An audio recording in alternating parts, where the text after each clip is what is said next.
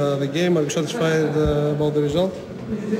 Uh, today you play in the first, first half not very well and uh, you can't find the, the game the way so in second half you play better make more pressure and uh, you can shoot and make a score but for us it's an excellent result for comeback in Greece. Ο Βραζιλιάνος ε, μας είπε ότι δεν παίξαμε καλά στο πρώτο εμίχρονο, ξεκινήσαμε νοθρά, ωστόσο στο δεύτερο εμίχρονο πιέσαμε, καταφέραμε και πετύχαμε γρήγορα γκολ και το τελικό αποτέλεσμα το 2-0 ε, είναι ένα ιδανικό αποτέλεσμα εν ώψη της ρεβάνς του γηπέδου Καραϊσκάκη.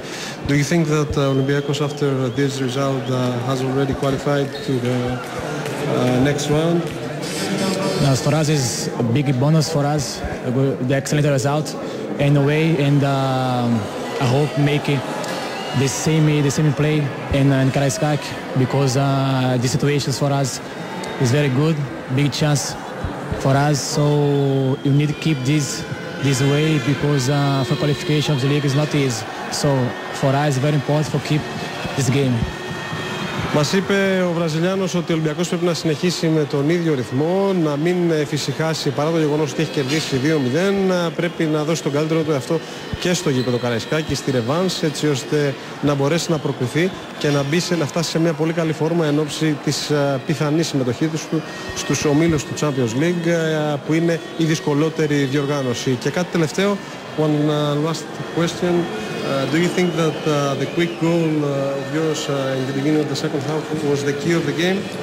I don't understand. And you missed uh, your quick goal uh, in the beginning of the first half. Do you think that was uh, a big factor for Olympiacos winning the game?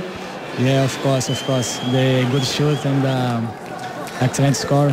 So because uh, because I told you before, you can't find the game. You can find the way. So when I make a score, open wide the game and uh, have more chance for make scores. So in the second half, keep the game and uh, have more chance. And uh, excellent result for us, I think. But you missed the second chance. yeah. no, but yeah, everything all right. And I hope the, the next game will be better.